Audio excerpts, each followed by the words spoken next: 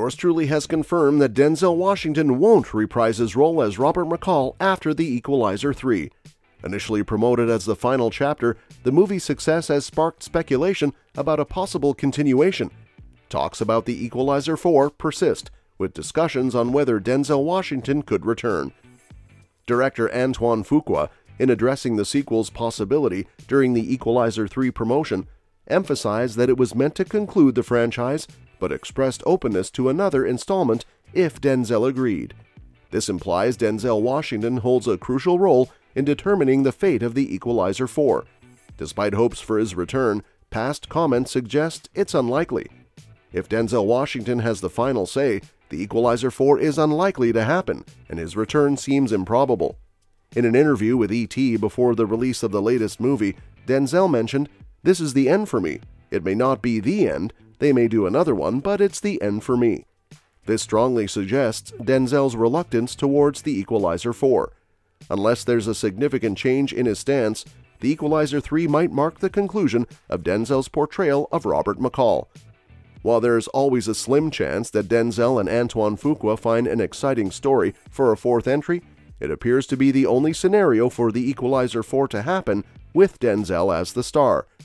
Notably, Denzel mentioned in the same interview that even a substantial paycheck wouldn't be enough to entice him back. If he lacks motivation for financial reasons and believes the franchise has creatively exhausted its potential, his return becomes highly unlikely. Even if Denzel Washington decides not to participate in the Equalizer 4, it doesn't necessarily mark the end of the franchise. The series could explore alternative paths, such as spin offs centered around Dakota Fanning's character, Emma Collins. Emma, with her role at the DIA, could continue aiding those in need, offering a fresh perspective to the franchise. While this might entail a shift in the action elements, it provides an interesting narrative direction. It also leaves room for Denzel to make a cameo if he wishes to contribute without being the main character. Another potential direction for the Equalizer's future is the exploration of prequel movies. Antoine Fuqua has mentioned discussions about de-aging Denzel Washington for a prequel, introducing a younger version of Robert McCall. This could involve casting someone like Denzel's son, John David Washington, to take on the lead role. Both spin offs and prequels offer intriguing possibilities for the series to evolve, even if Denzel Washington doesn't return for the Equalizer 4.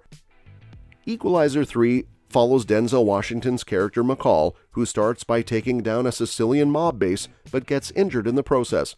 Locals from a seaside village called Altamonte take him in and care for him. However, the village faces threats from the mafia outfit, the Camorra. When the violence escalates, McCall steps in to protect the villagers. A side story involves McCall assisting CIA agent Emma Collins, providing her with information about designer drugs linked to the raided mob base. It's been revealed that the Camorra is involved with terrorists. A final confrontation unfolds after McCall kills the brother of Mafia chief Vincent. In the end, McCall defeats Vincent and his men in an intense home invasion. Despite injuries, Collins receives a promotion and McCall decides to stay in the village, seemingly finding peace. The ending leaves room for a potential fourth film. In The Equalizer 3, Denzel Washington's character faces danger throughout the action movie, but he doesn't die by the end. The film initially suggests he might be in critical condition after being shot, but takes a positive turn after he stabilizes after receiving treatment from a local. The decision is made to keep McCall alive, offering a happy ending or the possibility of a sequel, avoiding his demise in The Equalizer 3.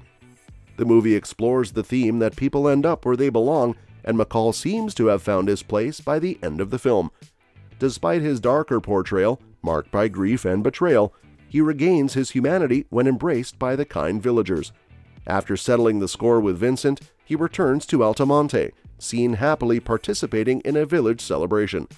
Having handed over his black book to Collins, it seems McCall has truly left behind his vigilante life.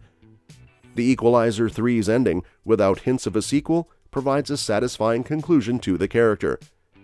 In the beginning of The Equalizer 3, Denzel Washington's character Robert McCall orchestrates a massacre at a mob boss's vineyard. The scene unfolds like a slasher film, with McCall easily defeating the henchmen. Before the confrontation, McCall hints that the mob took something that didn't belong to them. He is later seen with a mystery backpack, and its contents are revealed in the final scenes. McCall discloses to Collins that the mob was involved in cybercrime and stole the pension of a retired man named Greg Dyer in Boston. Having given Greg a ride in a lift previously, McCall decided to come to Italy to return the stolen $360,000 to him. Collins is puzzled about why McCall would go to such lengths for a stranger, but when she witnesses the joy the recovered money brings to Greg and his wife, she understands the noble motive behind McCall's actions. The antagonists lack depth and are portrayed as excessively evil. They commit heinous acts, such as hanging an old man from a window and cutting off a subordinate's hand. The mob led by Vincent collects protection money from stores in Altamonte and plans to build resorts and casinos, displacing the local population.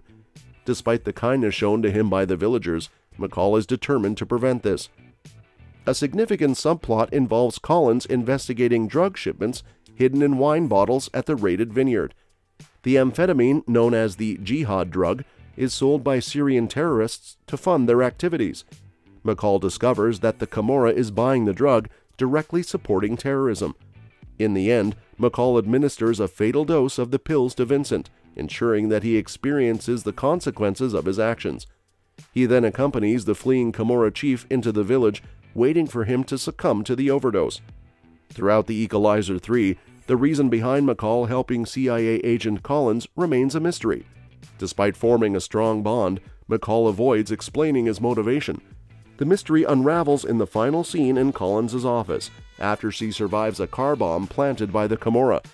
McCall has gifted her his black book, accompanied by a message stating that her mother would be proud.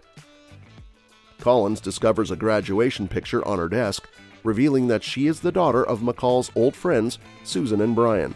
By mentoring Collins and passing on his book of names and secrets, McCall is guiding her to follow in the footsteps of Susan, becoming a formidable agent. This gesture signifies McCall's readiness to retire from his vigilant ways. The third installment of the Equalizer series is considered a potential conclusion, although director Antoine Fuqua has suggested Equalizer 4 could involve a digitally de-aged McCall or even star Denzel's son John David, the certainty of another entry remains unclear.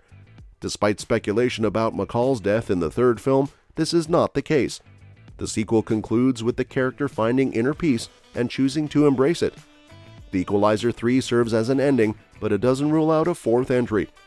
A possible sequel could depict McCall on another mission of vengeance, explaining that retirement didn't suit him. With Collins established as his new ally, she might seek his help for an operation requiring his unconventional methods. While a new film isn't guaranteed, hints suggest that Denzel Washington may not return for The Equalizer 4 if it happens. Therefore, 3 is likely to mark the true conclusion of Robert McCall's story rather than continuing for another adventure. Well, that's it for today's video. Thanks for watching, and we'll see you in the next one.